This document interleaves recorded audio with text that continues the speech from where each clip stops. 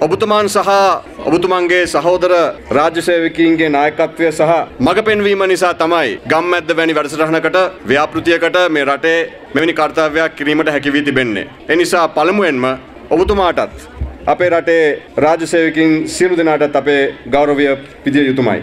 මේ ගමනේ සාර්ථක අවසානය සමහර විට අපිට දකින්න බැරි වෙයි. නමුත් ඊ타ත්ම අගනා ලස්සන අනාගතයක් වේවායි කියලා මම බලාපොරොත්තු වෙනවා මම විශ්වාස කරනවා.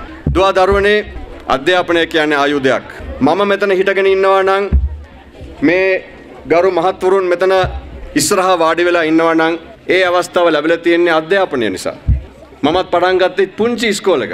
නමුත් මහන්සි වෙලා අමාරුවෙන් අභියෝග ජයගෙන ඉදිරියට ආපු නිසා තමයි ඒ අධ්‍යාපනය කියන ආයුධයෙන් තමයි අපිට මෙතන හිට ගන්න පුළුවන් වෙලා තියෙන්නේ. ඒ හරහා තමයි රටටත් සේවය කරන්න අපිට හැකියාවක් ලැබිලා තියෙන්නේ. හැමෝම බනින හැමෝම පහත් ලෙස සලකන අපේ මේ ලස්සන පුංචි රට අනිවාර්යෙන් ලෝකයේ ඉහළම ස්ථානයට අපිට රැගෙන යන්න පුළුවන් කියන විශ්වාසය අපිට තියෙනවා. අනිවාර්යෙන් මේ ලස්සන දුවා දුර දරුවන්ගේ හැකියාවෙන් අපිට අවස්ථාව ලංකර ගැනීමට හැකි කියලා අප විශ්වාස කරනවා. අන්න ඒ නිසා විතරයි ගම්මැද්ද අද නොනවත්වා රටේ හැම ග්‍රාමීය ප්‍රදේශයකම වැඩ කරන්නේ. මේ වැඩේ ලේසි නෑ. මේ අවස්ථාවේදී බොහෝ අය බොහෝ සංවිධාන තමන්ගේ ක්‍රියාකාරීත්වය නවත්තලා තියෙන්නේ. නමුත් ගම්මැද්ද අමාරුවෙන් ඉදිරියට යන්නේ ඒ ජනතාවට අපි ඒ සේවය කළ යුතු නිසා සහ ජනතාවට අවස්ථාව ලබා දිය යුතු නිසාමයි.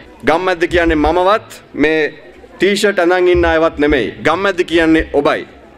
ගම්මැද්ද කියන්නේ රටේ ජනතාව හදපු මහා ප්‍රාකාරයක්. එනිසා අනාගතයටත් ඒ ප්‍රාකාරයේ සේවය හරහා අපේ දුවා දරුවන්ගේ අනාගතය සාමාන්‍ය ජනතාවගේ අනාගතය අපේ රටේ අනාගතය ශක්තිමත් කරන්න අපි මහන්සි වෙනවා. අපි දන්නවා එයාලයින් පයිලට් කෙනෙක් නැත්තම් ගුවන් නියමුවෙක්. ඒ අය නිහඬව සමහර විට 100ක් 200ක් 300ක් වැනි සංඛ්‍යාවක් ආරක්ෂිතව තමන්ගේ ගමනාන්තය දක්වා අරගෙන යනවා. අපි සමහර විට බොහෝ විට අපි දකින්නවත් නෑ පයිලට් කවුද කියලා. නමුත් නිහඬව ඔබතුමන්ලා ඒ සේවය කරනවා. මං හිතන්නේ එවැනිම සේවයක් තමයි අද ඔබතුමන්ලා මෙතනත් කරන්නේ.